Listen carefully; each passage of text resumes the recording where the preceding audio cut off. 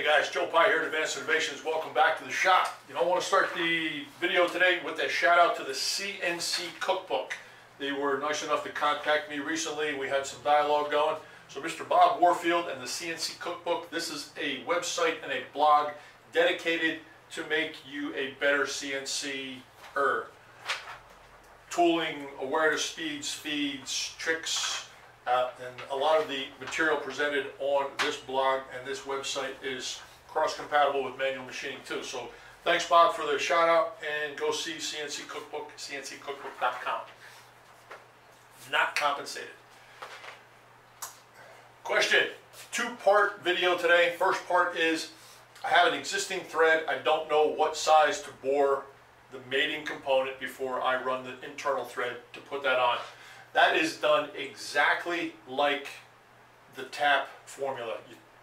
Major diameter minus the pitch value is the hole size. Same thing with an OD thread that you are going to turn single point inside. Take the OD of the thread, subtract the pitch value, and that will give you the bore of the mating part.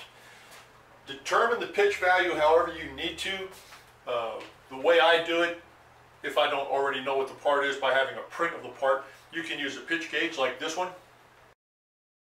Now do be careful if you evaluate a physical thread with a gauge like that and you don't have a long stretch of engagement to check because there are some metric and imperial threads that overlap close enough that the mating part will go on.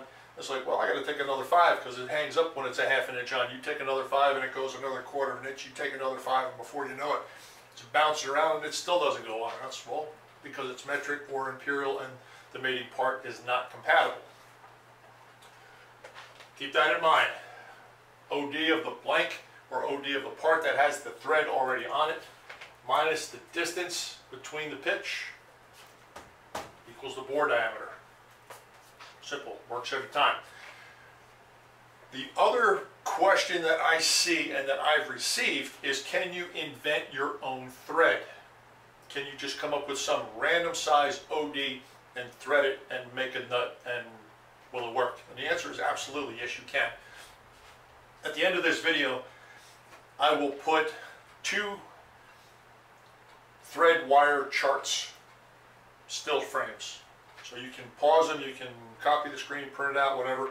But for the sake of this next demonstration, it would be nice if you had one of those in your face so you can see exactly what I'm talking about.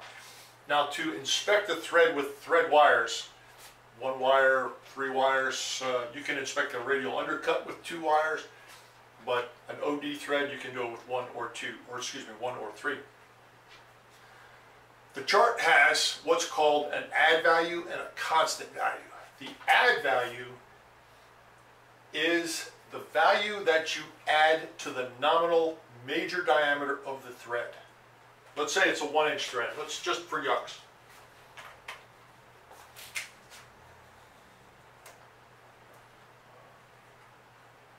One inch OD. The add value is going to be much smaller than the constant value. So the add value is the number that you add to the diameter. One inch OD plus the add value.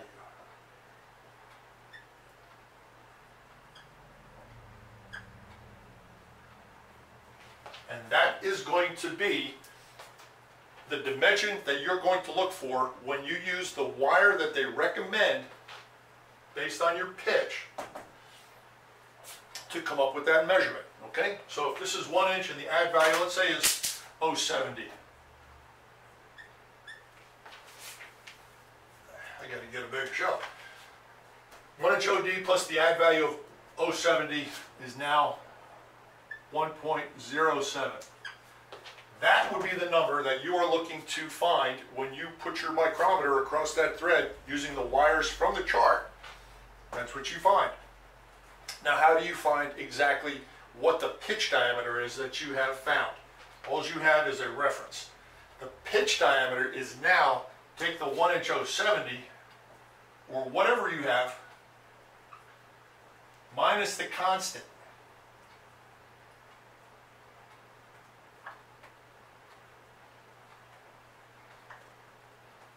And that will give you the pitch diameter. These charts, I have double checked and triple checked the values in these charts, and they will put you just shy of nominal for like a class two fit. Now, forgive me with my metrics, I can't tell you what, what classification that is comparably, but imperial, it's right just below the midpoint of a class two. So the added the constant values in the charts in the end of this video are incredibly valuable for just that. I would suggest take a screenshot, print it out, put it in your toolbox, and if you don't have wires, get wires. Keep that trick in mind for figuring out what the bore is, and as far as creating your own thread, adds in constants all day long. And once you've created that OD thread or that ID thread, because you can calculate it the same way, you're golden. Got a job I got to do. I'm going to probably film some of it, show you how I do it, and uh, we'll get to it. Let's take a look. Because I want this demonstration to be what they call a proprietary thread, I am going to pick a thread that's not in the book. You can see that up in the inch and a half, two inch range, it jumps 1 16th of an inch in between major diameters of the thread. 687, 750, 625. So it's every 1 16th increments on the growth of the major diameter of the thread. Knowing that, let's pick something wild. Let's go with a, oh, let's move over here. Let's go 1 point, how about 710? That's bizarre enough, right? 1 inch 710 OD and 12 TPI.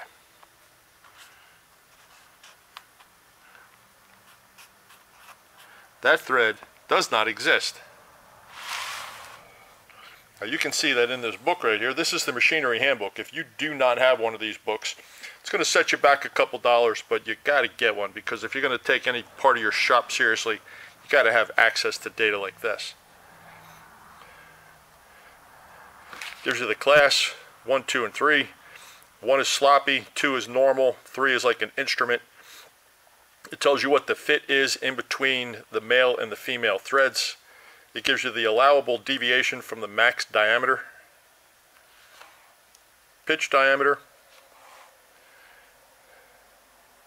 minor diameter, that would be the root, and it gives you these values for the external and the internal. So this is a very handy thing to have. If you're going to use something like this, well, it's probably a good idea that you have hard gauges or wires. And that's where our wires come in handy. Let's take a look at that.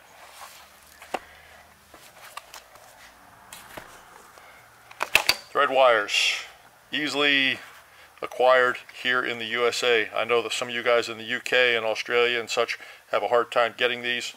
If you cannot get them and you're willing to bite the bullet on the postage, I'd be happy to send you some give me a give me a shout out and we'll see if we can make that happen. All right, back to that little chart. This is the chart that's going to be at the end of the book or at the end of the video. For 12 threads per inch, right here in the first column, 12 threads per inch, find it. There you go. 55 value is the wire size. So we're going to pull the 055 wires out of that kit. And here's the two values that I spoke about inside. One is an add value and one is a constant value. Add and constant. It says it right there, so I must be right. When you go for the major diameter of the thread, 1 inch 710, right? You're going to take the add value in this column right here and you're going to add it to that 1 inch 710. Let's do that. When you add the add value to the diameter of the thread that you want to create. Here's the diameter of the thread that we want to create. That's the add value from the chart. This is now your measurement across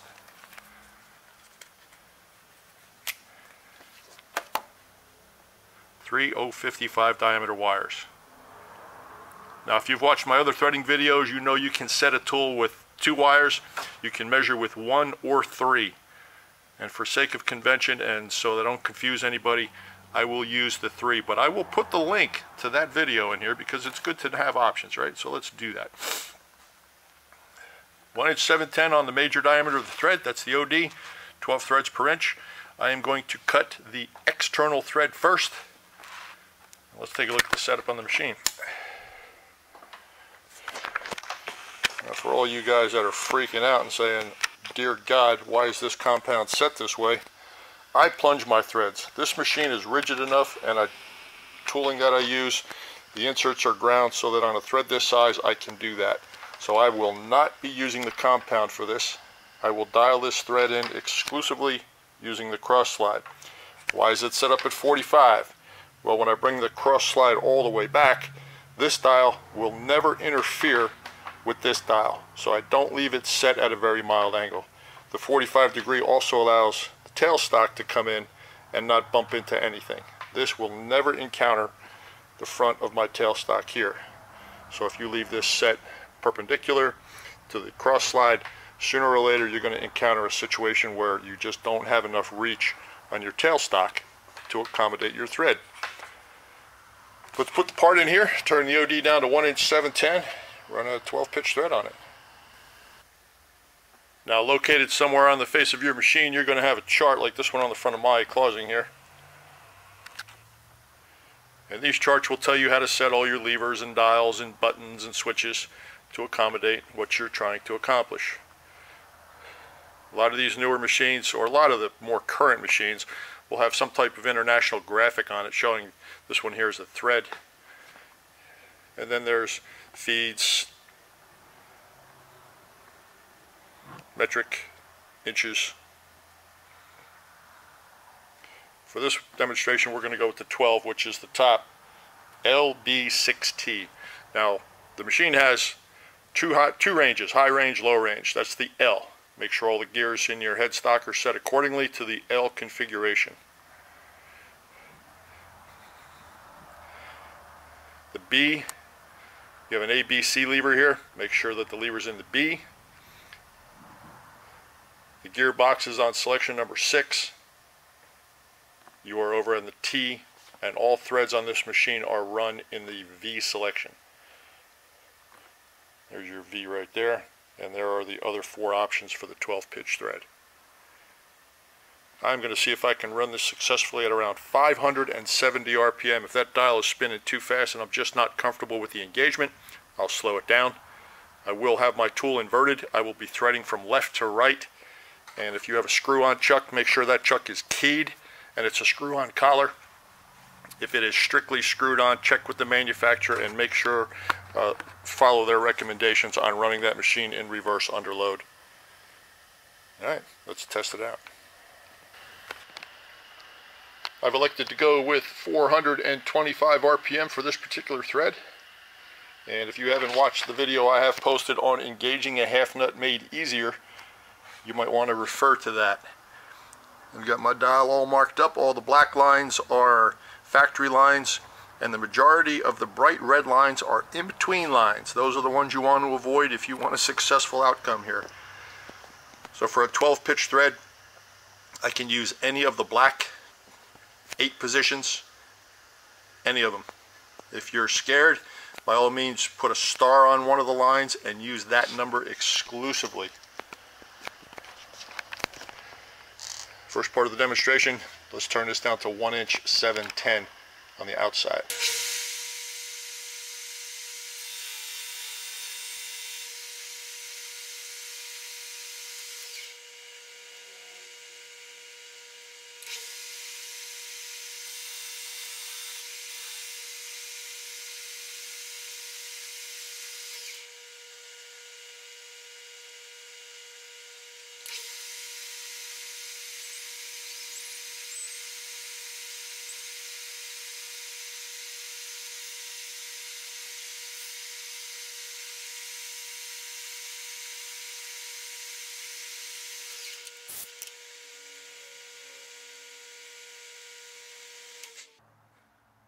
1 inch 708.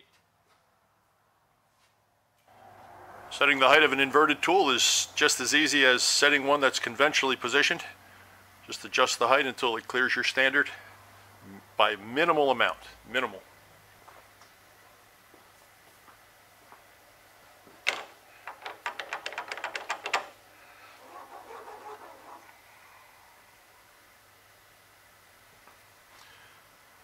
An insert like this, it is not a good idea to drop it down onto the standard and lock the tool post that have a big chance of cracking the insert. Lower it and feed it.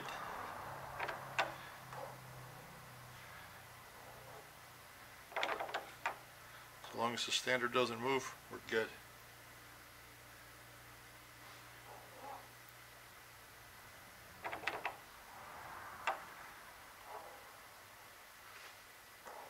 I'll take it right there.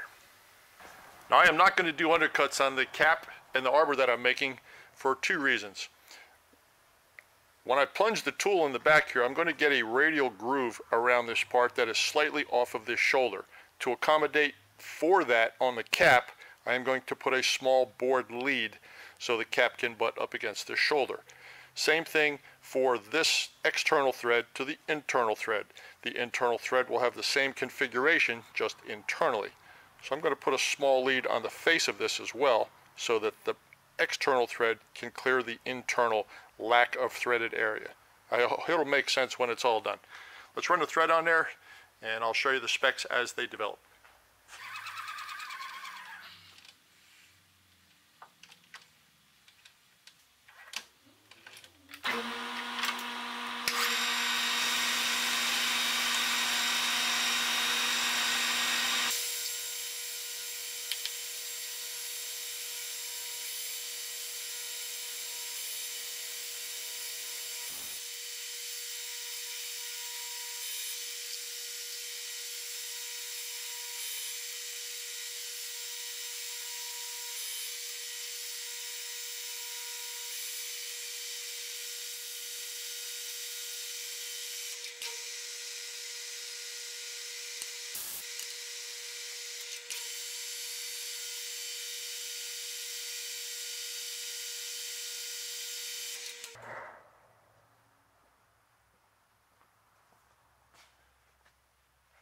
Okay, at this point in time, this thread has been done exclusively by eye. You don't want to check it too soon because the wires will sit real high and it'll just be a pain in the neck. So I've been watching the crest of the thread up here and it's a, it's a minimal flat at this point and I trust that the wires will sit in there real nice.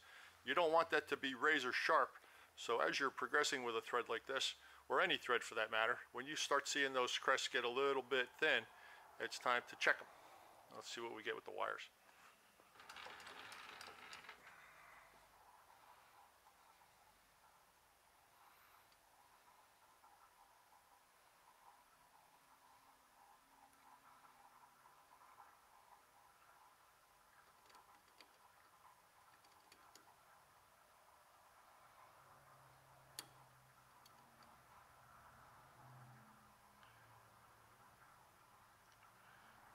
Feel the micrometer sit over the three-point contact.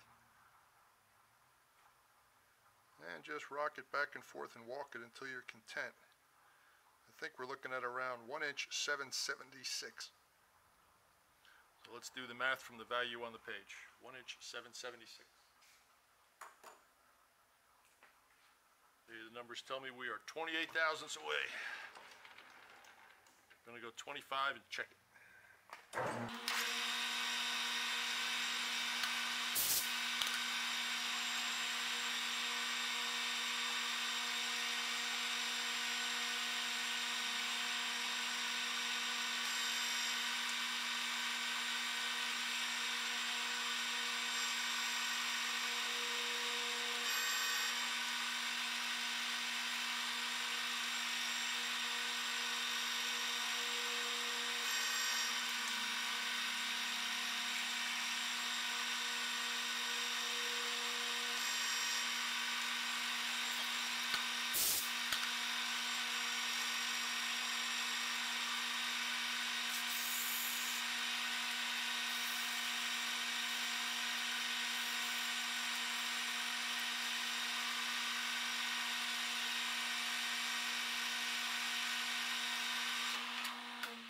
If you're going to deburr a thread, get in the habit of deburring a thread while it's running forward and reversed.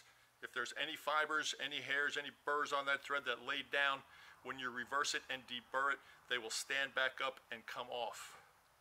You don't want to find that out when you're test fitting the component and when you go to reverse the thread to take the components apart. Then they stand up and that's when it locks.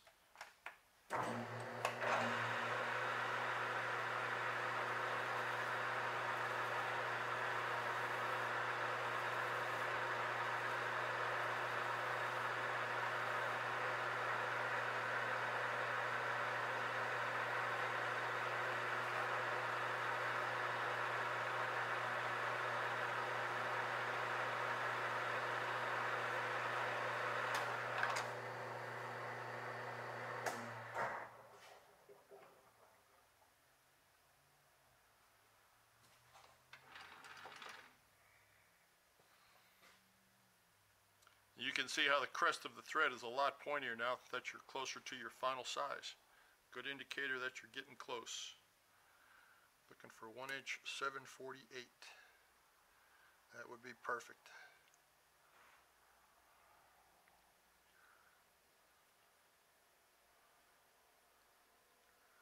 Seven fifty two and a half. Four and a half more and we are golden.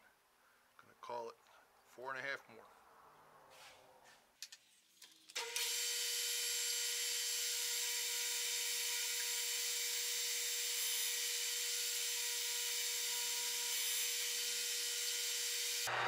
This thread. I will take one additional finish pass to remove anything that I may have rolled over from the deburring process.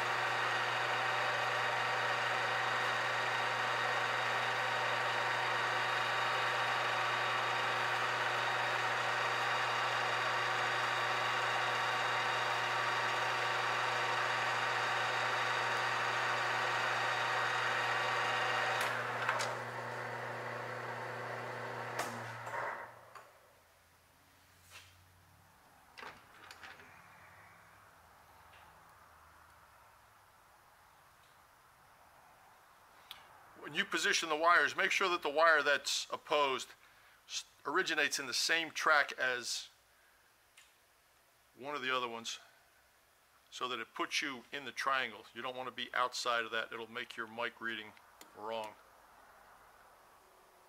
Come on. There you go.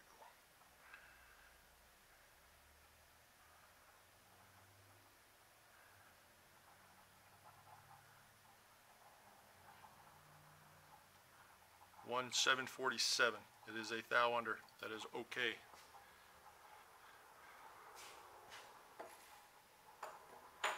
You pretty much rely on the fact that you have about two, two and a half thou on either side of the number that the chart is going to give you. Going to relieve a lot of the front of this thread so that it fits in the cap. The Cap will not have an undercut.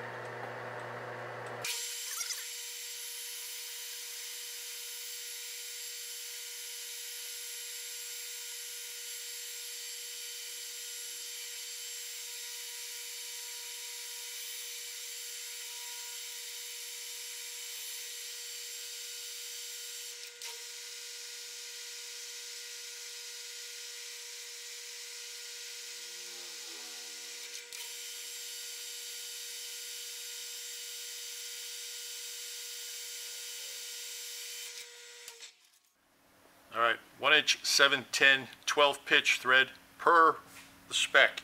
If you wanted to find out what the pitch diameter was, naturally back out the constant from the wire measurement. In order to bore the cap successfully, I'm going to take the one inch 710 and I'm going to divide one inch by 12 to give me the crest to crest value. I will subtract that value from this size and that will give me the bore. Let's take this out, make the cap.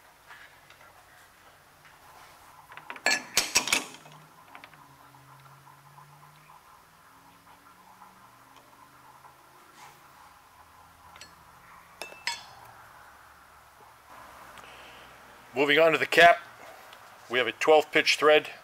So one inch divided by 12 gives us 0.833 between pitches.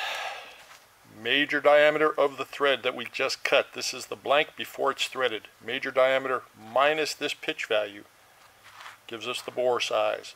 This is our target diameter bore. I'm going to face that cap off and we're going to bore it out to this diameter. Then we're going to thread it. I am going to bore the cap 10 thousandths deeper than the length of the external thread. Let's get after it. Going to start the machining of the cap with a nice face cut so we have a reference for all the other features. This is 2 inch diameter 6061 aluminum. This is a 31 millimeter diameter drill, 1 inch 218 imperial. And I've thinned out the web on it, so it's going to behave itself when I make contact with it. There's a little bit of jumping around, but if you pause, sometimes the drill can clean off the chatter and give you the a good feel for the plunge. The more surface area you get, it's going to go one way or the other. It's going to get really good or bad, but when the chip starts flowing like this on this machine, I just push it and away we go. A pilot hole or a starting spot is probably recommended for a drill that size.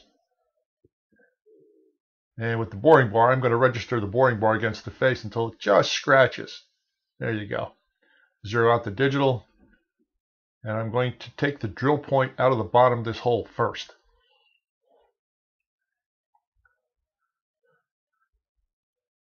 Stepping out in about 5 millimeter, 200 thousandths increments until I'm close enough to take a cleanup cut on the entire bore.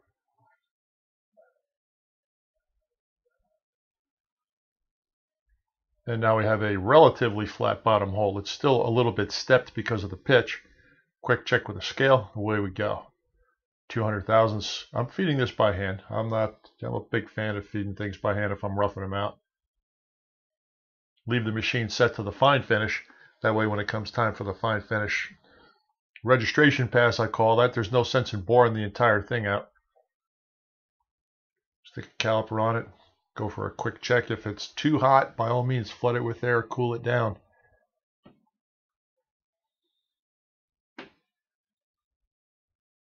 And it actually did shrink about a thousandth and a half, believe it or not. Got light pressure on it, so it's not going to distort if I open the jaws.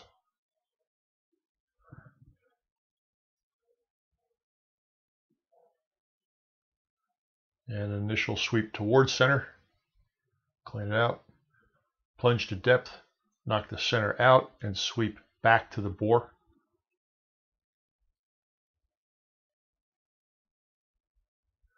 There you go, nice flat bottom hole.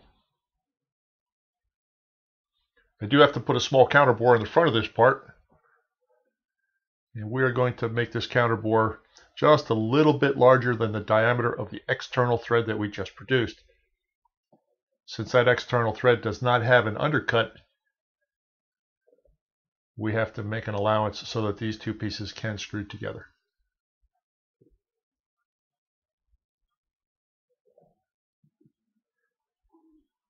Set your threading tool up. And unless you feel like wearing Dykem on a lathe, make sure that it's running slowly. I'm going to chamfer the lead of the thread with the threading tool. That way when I go back in to deburr it, the tool is already set. The tool is upright. I'm cutting on the back of the part. The machine is running in reverse, and I do have a hard stop set, so I will not smash this bar into the bottom of the part. I like to start my internal threads with a resting place for the tool. So each pass starts, there is no load until the tool actually cuts. I am also keeping a very light pressure on the hand wheel, like a drum brake, very mildly engaged. And believe it or not, you can influence the integrity of the thread by changing the pressure on that hand wheel. So whatever you start with, see it through. And deburr the front one more time. Now, anybody that has ever decided to stick their fingers down inside of a moving thread with emery, you better be comfortable with it, or the thread better be big enough that it's not going to suck your finger in. When you deburr a thread with emery or Scotch-Brite or steel wool or a wire brush, always do the thread in forward and reverse. Metal will absolutely form fibers as it cuts, little hairs, and if those hairs are deburred in only one direction, you can have a catastrophic failure when you try to fit the mating part in there. They're all fine and dandy until you go to unscrew it and then they stand up and lock and it's an uh-oh moment. We are very close to final size.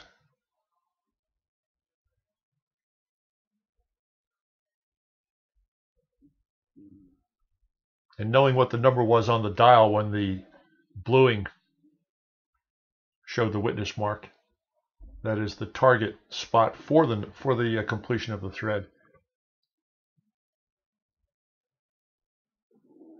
You know, when you get close, don't push it. A class 2 thread like this probably has about 5 thousandths worth of clearance. And don't rush it either. If you're going to deburr it in between attempts to make it fit, that is probably a really smart thing to do.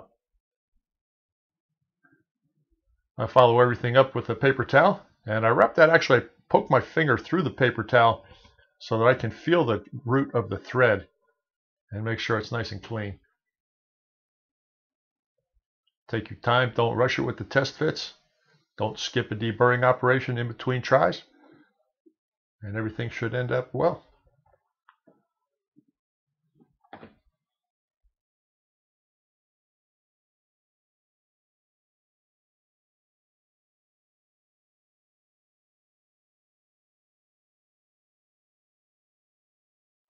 Right. There we go, 52.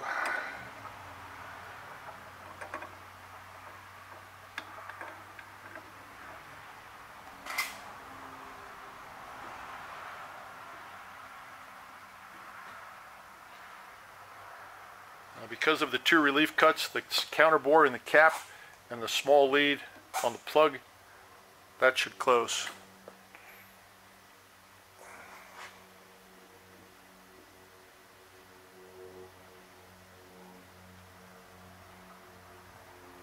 Go. That's money. Beautiful. Love it.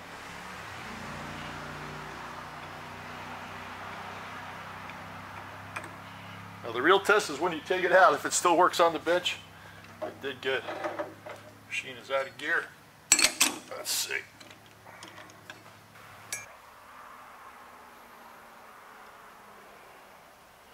Okay, as you can see, plunging those threads did not hurt the finish at all.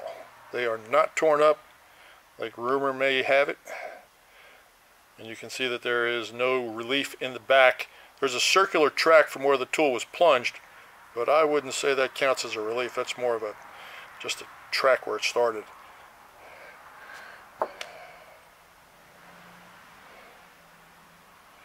The internal thread is just beautiful as well. Let's see if they go together.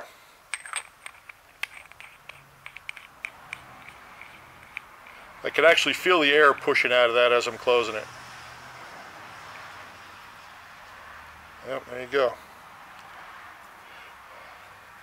It works. One inch, 710, 12 thread per inch, not in the book, chart thread. Now, uh,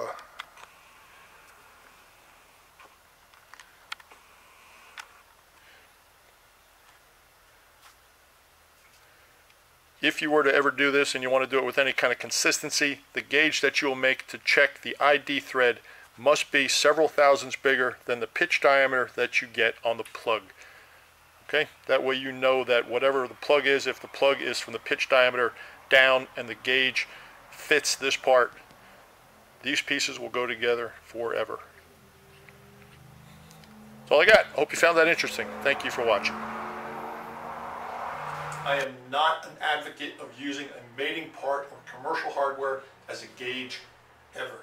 But if you're going to control the part, if it's something that is going to never leave your site, and it doesn't have to go to the other side of the world and fit on some tractor for some guy that's been waiting nine weeks for it to be delivered, use the mating part. Otherwise, make a gauge. Hope you found that valuable. Thank you very much for watching. I hope everybody's well. Once again, Joe Pie, Advanced Innovations in Austin, Texas.